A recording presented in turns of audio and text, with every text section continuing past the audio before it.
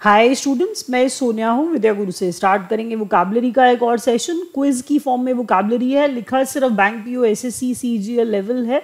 But आप लोग जानते हैं इंग्लिश जो होता है वो कॉमन रहता है ऑलमोस्ट सारे एग्ज़ाम्स के अंदर. तो वोकाबलरी का कोई भी सेशन होगा, आपका कोई भी कंपेटेटिव एग्ज़ाम होगा, उसमें हेल्प करेगा ही करेगा. स्टार्ट करेंगे क्वेश्चन अच्छे हैं वर्ड्स अच्छे हैं, हर बार बोलती हूँ बट आपको वर्ड्स का थोड़ा सा इंट्रो देना ज़रूरी होता है कि प्रिवारिकेट या रेंडिशन जैसे वर्ड्स हम पढ़ेंगे. बर्ड्स का लेवल ठीक ठाक है। आप बैंक पी और सीजीएल के एग्ज़ाम में इन्हें एक्सपेक्ट कर सकते हैं क्योंकि इन एग्ज़ाम्स का लेवल भी ठीक ठाक होता है। वीडियो स्टार्ट कर रहे हैं। अच्छा लगेगा लाइक करिएगा शेयर करिए सब्सक्राइब करिए हमारे चैनल को ज़रूर से अगर करेंगे तो जो भी एग्ज़ाम रेलिवेंट वीडियोस हम लोग बनाते हैं, उनका नोटिफिकेशन आपके पास आएगा और नोटिफिकेशन सिर्फ़ सब्सक्राइब स्टूडेंट्स के पास आता है। स्टार्ट करते हैं। पहले वर्ड से ईडियोसिंक्रेटिक बहुत मुश्किल वर्ड नहीं है। ईडियोसिंक्रेटिक बहुत मुश्किल वर्ड बिल्कुल भी नहीं है, आसान सा ही है रादर तो ईडियोसिंक्रेटिक वर्ड का मतलब क्या है सुनिए? इडियोसिंक्रेटिक मतलब है पेक्यूलियर मतलब क्या है पेक्यूलियर आपको क्विज की फॉर्म में इसीलिए पढ़ा रही हूँ क्योंकि एग्ज़ाम में जब आपके पास वर्ड्स आएँगे तो उसमें भी आपको ऑप्शन में से चूज़ करना पड़ेगा. पेक्यूलियर अगर आपको मीनिंग पता हो तो पेक्यूलियर में आप प्रेशियस जैसा वर्ड भी पढ़ के कन्फ्यूज़ हो सकते हैं. इसीलिए याद रखिए इडियोसिंक्रेटिक का मतलब पेक्यूलियर है। अगर आपको पेक्यूलियर समझ में नहीं आता है तो मीनिंग हिंदी में बता देती हूँ आपको, संकी होता है पेक्यूलियर का मीनिंग थोड़ा सा एग्ज़ाम्पल से पढ़ने से कंटेक्चुअली समझ जाएँगे। वर्ड यूज़ करना आ जाएगा, क्योंकि वर्ड ज़्यादातर प्रॉब्लम यही होती है कि यूज़ नहीं करना आता, समझ नहीं आता what the usages of the word his methods of investigation were idiosyncratic but effective उसके इन्वेस्टिगेशन के मेथड जो हैं, वो इडियोसिंक्रेटिक हैं, वो पेक्यूलियर हैं, वो संकी हैं, पर वो इफ़ेक्टिव हैं। बट वो इफ़ेक्टिव है। दैट्स इडियोसिंक्रेटिक इडियोसिंक्रेटिक का मतलब क्या है? पेक्यूलियर है। याद रखिएगा, तीन चार बार बोलिए, याद होगा ही होगा। इडियोसिंक्रेटिक का मतलब पेक्यूलियर होता है। अगर आपको पेक्यूलियर नहीं समझ में आता है तो संकी होता है। और संकी का मीनिंग आप जानते हैं किस कॉन्टेक्स्ट में कह रही हूँ। इन्वेस्टिगेशन कोई कर रहा है एग्ज़ाम्पल से समझा रही थी, उसकी इन्वेस्टिगेशन का मेथड ईडियोसिंक्रेटिक है बट इफ़ेक्टिव है।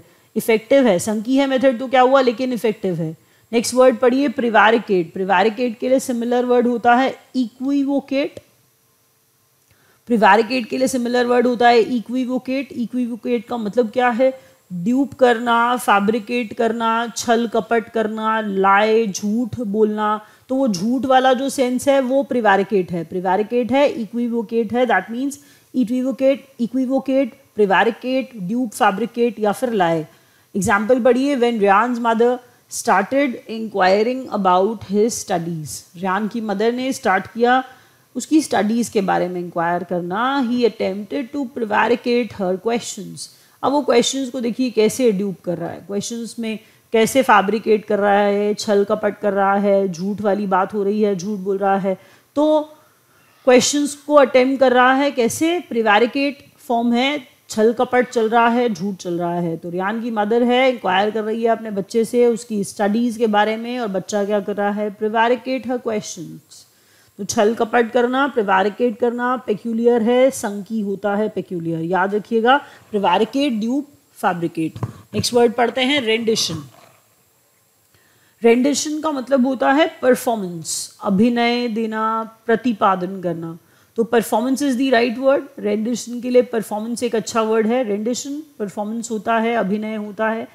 Singer's rendition of the song was quite different from the original track अब सिंगर है, उसने रेंडिशन दिया सॉन्ग का, उसने अलग तरह से प्रेजेंट किया है, उसने अलग तरह से परफॉर्म किया है सिंगर ने सॉन्ग को, और ओरिजिनल ट्रैक से वो कैसा था? क्वाइट डिफरेंट था क्वाइट अलग था। तो सिंगर्स रेंडिशन सिंगर का परफॉर्मेंस नेक्स्ट है बिगाइल बिगाइल का सिमिलर वर्ड होता है इंचांट करना इंचांट करना, मोहना, मोहित करना, सम्मोहित करना तो वो एंचांट है। एंचांट करना, मोहित करना, मोहना। याद रखिएगा बिगाइल एंचांट बिगाइल एंचांट होता है।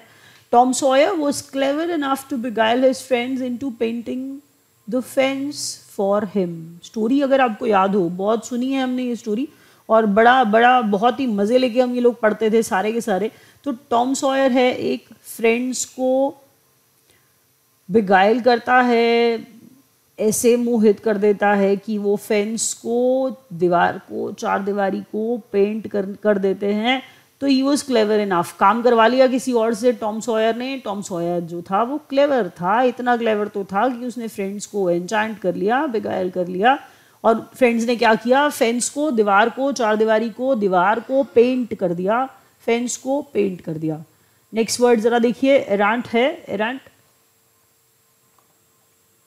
नेक्स्ट वर्ड क्या बताया मैंने? एरेंट है एरेंट का मतलब होता है वे वर्ड वे वर्ड क्या है? वे वर्ड वे वे भटक रहा है वे वर्ड है, भटक रहा है. वे वर्ड है, भटक रहा है, याद रखिए.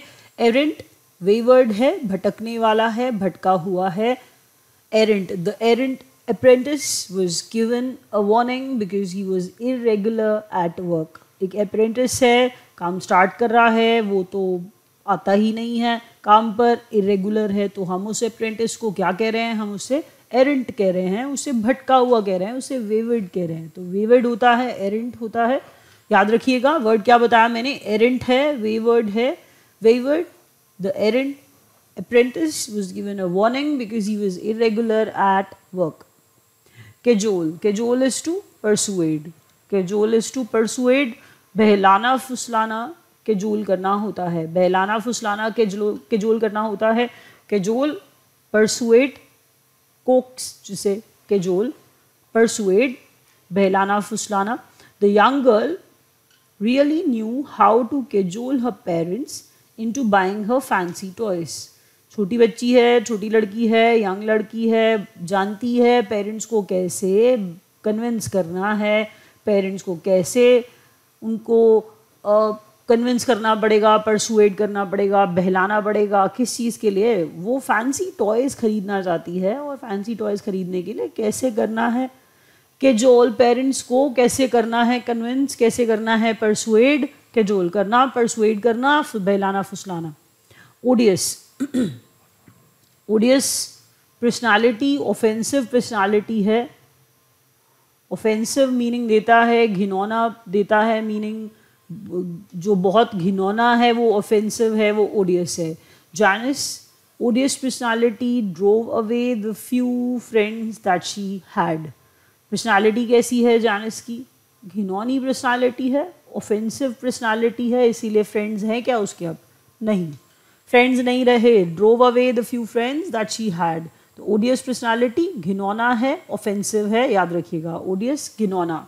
नेक्स्ट वर्ड है taut taut means tight taut का मतलब टाइट होता है टी से टॉट टी से tight taut tight taut tight सुनने में भी थोड़ा सिमिलर सिमिलर लगेगा. टॉट टाइट मीनिंग है तना हुआ. Now that the storm had passed her taut muscles relaxed and she felt weak storm चला गया पास हो गया और अब उसके जो टाइट मसल्स थे relaxed and she felt weak taut tight होता है, याद रखिएगा। Next question oleaginous is the word oleaginous is the word ध्यान रखिए अच्छा वर्ड है ओलियाजिनस ओलियाजिनस का मतलब होता है rich in covered with producing oil oily तो ओलियाजिनस नाम में ऑयल जैसी फील आ जाएगी। Oleaginous oil oleaginous oil oleaginous oil that is why answer क्या है? ऑयली है। तेल गुण युक्त है, चिकना है ऑयली है। India has a vast market for vendors of cereals and oleaginous grains.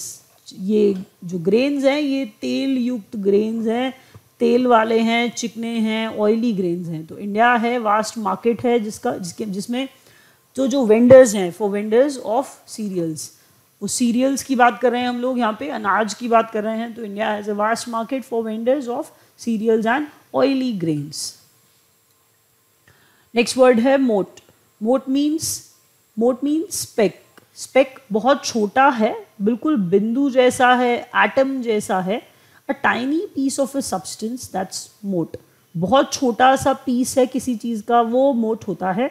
Spec uh, जिसे कहा जाता है पार्टिकल जिसे कहा जाता है अगर आप पार्टिकल समझते हो अगर आप एटम समझते हो वो पार्टिकल वो एटम जो होता है टाइप का उसे हम क्या कहते हैं? हम उसे कहते हैं speck a mote of sand in the girl's shoe irritated her until she stop to wipe it away sand गिरी है, देखिए कितनी गिरी है। बिल्कुल थोड़ी सी है, बिल्कुल थोड़ी सी है। धूली का कण, बिंदु, बहुत थोड़ी सी है। Tiny piece of a substance गिरी तो थोड़ी सी थी a mote of sand in the girl's shoe but सीधी बात है गिर गिर जाती है शू के अंदर सैंड चाहे वो थोड़ी सी भी हो तो इरिटेट करती है।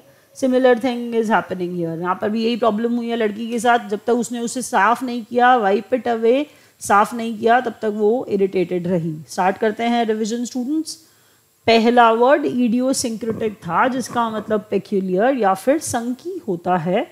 प्रिवारिकेट इक्विवोकेट होता है, जिसमें ड्यूब करना फैब्रिकेट करना, छल कपट करना आता है। रेंडिशन का मतलब परफॉर्मेंस देना होता है। बिगाइल का मतलब इंचांट करना होता है, किसी को मोहित करना होता है। एरेंट का मतलब भटकने वाला या वेवर्ड होता है।